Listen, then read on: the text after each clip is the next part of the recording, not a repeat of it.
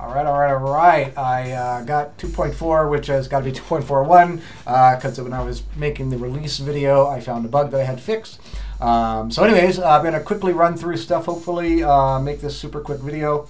Um, and here we go. So one of the features that's been shown plenty, of course, is that you can now control, click, and drag to change a value. Uh, this works in all of the parameter fields.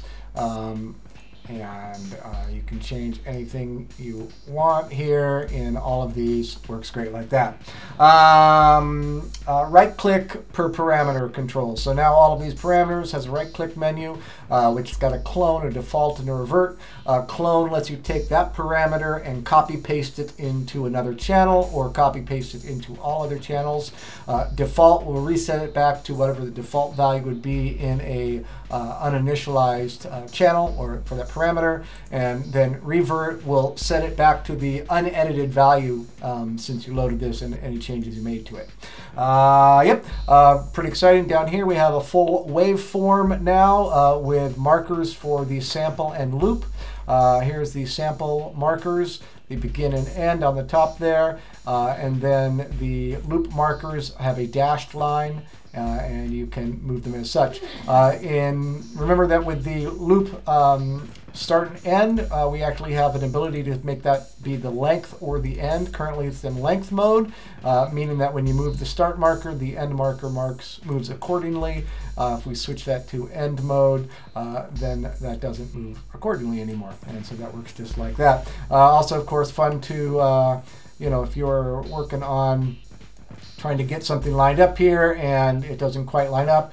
Now you can quickly come over and uh, use the drag option, the control drag option to get the fine tuning done on that. So that's pretty nice. Uh, what else we got here? Waveform, uh, copy paste without um, changing the sample. So sometimes you want to copy the parameters uh, of a zone to another zone, but you don't want to change the sample. Uh, so we can do that now with copy. If we say we just want to copy the settings here, uh, we come over to this guy here and we do a paste. Uh, we see that we've changed the values here, uh, but have not changed the sample.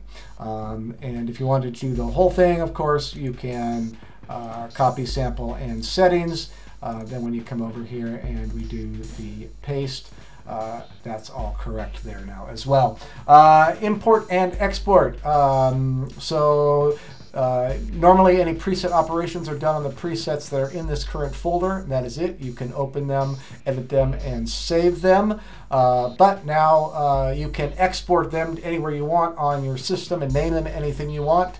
Uh, and so maybe you can have some templates built if you want. So doing an export will prompt you for a file name on your system, and that will export whatever the current values in the editor are out to that. Uh, as well, we've got an import, uh, which is of course the opposite piece of that. And if you've made any changes, it'll say, hey, you sure you want to do that? We say, yes, we do. And then we're given a dialog box here where we can load in the presets uh, import the presets in there. So that'll import into the editor. If you want to do the save, you have to do the save manually. Uh, clone options for whole channels and whole zones. Uh, so there are a whole bunch of clone options along with the parameters here uh, at the channel level. You can clone your channel settings uh, to any of the channels or to all of the channels. You can clone all of the zones from this channel to any of the channels or all of the channels.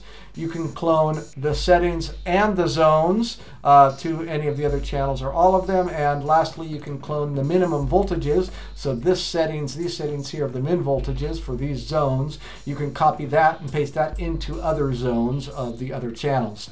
Um, so that's how that works. Uh, let's see. Um, added some missing tooltips, so things that, you know, like this that didn't have the tooltips there before now have them.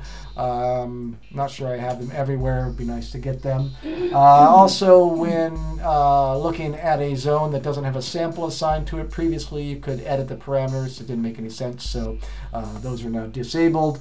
Um, filled in the background here of this to match the um, the uh, waveform background there as well.